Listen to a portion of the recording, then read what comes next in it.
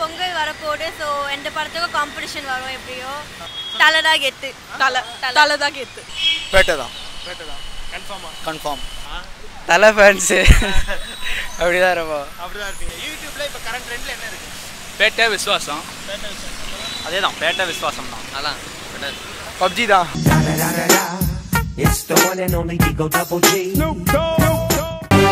சிந்தின ரத்தத்துக்கு சொந்தம் வராமலே போயிடும் இப்போ என்ன பண்ண போறோம்?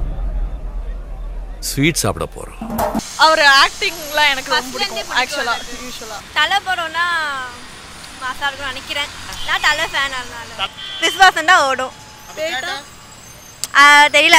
அது வந்த பார்த்துக்கலாம் வந்தா பாத்துக்கலாம். அவ்வளவுதான். ஆனா எனக்கு இன்னும் பேட்டா தான் ஓடும்னு தோணுது. வீ வீரம் வீரம் மூவி மாதிரி.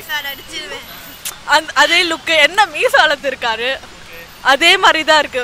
ஸோ அதனால அப்படின்னு நினைக்கிறேன். ரஜினிக்கு வயசாயிடுச்சு. ஆ. நடிச்சு போறாரு. அது ரஜினிக்கு வயசாயிடுச்சுல்ல. நீ தான் நீ ஏன் ஏன் பின்னாடி போற? நீ தான் தைரியமான ஆளு. பாவம் பேர பசங்களா இருக்காங்க. அவர் ஏஜுக்கு ஏற்ற மாதிரி நட நடிப்பார். அண்டு ஆக்சுவலாக அவர் பைக் ஓட்டுற இது எனக்கு ரொம்ப பிடிக்கும் சீரியஸாக அதனால. ஒரு நல்ல காம்படிஷன் ரெண்டு பேருக்கும். கண்டிப்பாக வந்து பேட்டை தான் ஜெயிக்கும். மக்களும் ரொம்ப எதிர்பார்க்குறாங்க. ரஜினி சார் கிட்ட கொஞ்சம் எக்ஸ்ட்ராடினரியாக இந்த படத்தில் இருக்கும்னு. அவரோட மூவி எப்பவுமே வந்து என்டர்டெயின்மெண்ட் தானே? போர் அடிக்காது.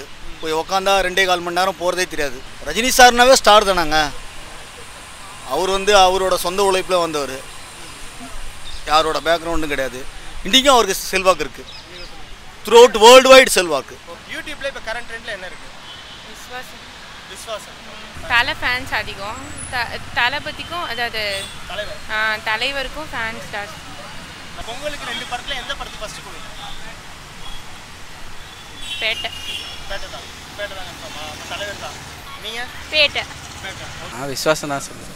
பேட்டா தான் சொல்லுவேன் ரெண்டுமே ஈக்குவலாக போச்சுன்னா நல்லாயிருக்கும் புரியல. ரெண்டுமே ஈக்குவலாக போச்சுன்னா நல்லாயிருக்கும் ஒரு பிரச்சனையும் இல்லாமல் அதான் ரஜினி நடிக்கிறாரு விஜய் சேதுபதி நடிக்கிறாரு அதனால.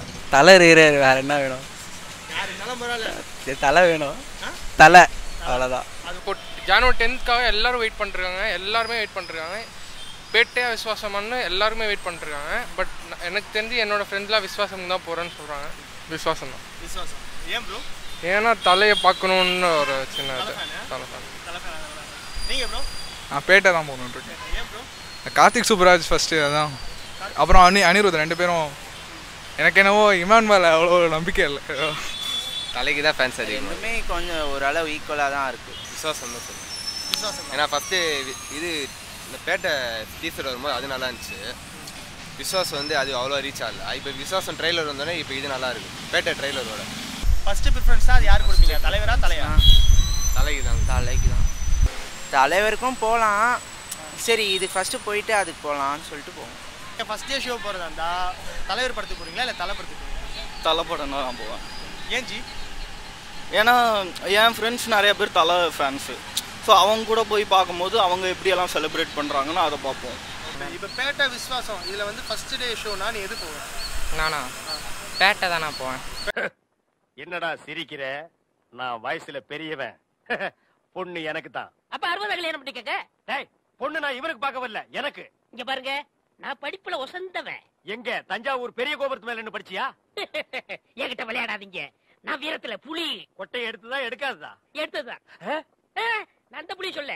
பாய் புலி சொன்னேன். நான் மட்டும் என்ன சாம்பார்ல கரைக்கிற புலி தான் சொன்னேன்? நான் பெண்களை நாயா மதிக்கிறேன். நாங்க மட்டும் என்ன நாயாவா மதிக்கிறோம்? டேய்